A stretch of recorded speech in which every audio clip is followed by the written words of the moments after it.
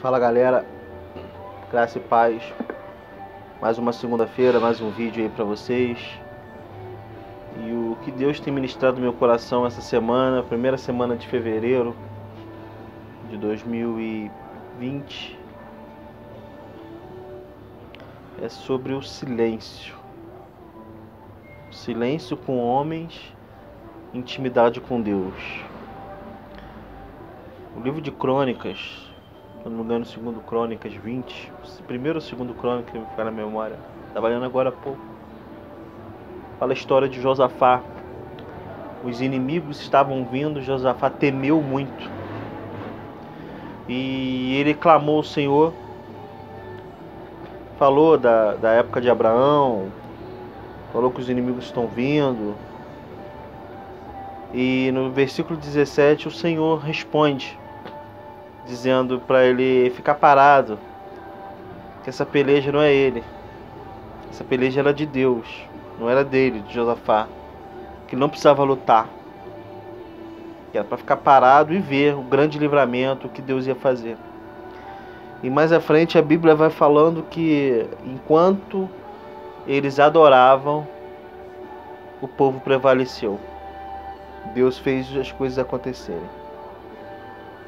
É uma história linda, depois você vai lá. Não posso falar senão o vídeo fica muito longo. Né? Esse vídeo é pro grupo, pro nosso grupo e é até 3, 4 minutos no máximo. Mas a, a reflexão dessa semana é silencie no Senhor.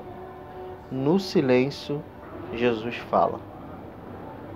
No silêncio ele responde qualquer queixa, qualquer injustiça que você esteja passando, não fale com A, com B e com C.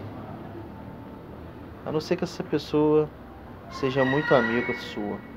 Mas embora ela seja muito amiga sua, tem uma pessoa mais importante para você falar. Embora essa pessoa já saiba, mas essa pessoa quer ouvir da sua boca. Converse com Deus, fale com Ele, se entrega a Ele porque Ele é o único que pode te livrar. Ele é o único que pode pelejar por você. Então silencie para o mundo, para as coisas terrenas e se conecta com Deus. Porque no silêncio ele fala. Às vezes nós reclamamos e falamos e contamos e o último a saber é o Senhor.